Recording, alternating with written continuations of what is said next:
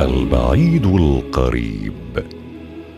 قال الإمام الهادي عليه السلام إن الله لا يوصف إلا بما وصف به نفسه وانى يوصف الذي تعجز الحواس أن تدركه والأوهام أن تناله والخطرات أن تحده والبصائر عن الإحاطة به.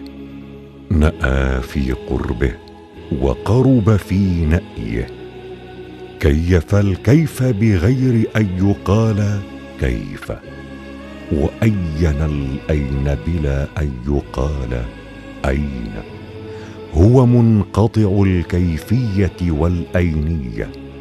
الواحد الأحد. جل جلاله. وتقدست أسماؤه.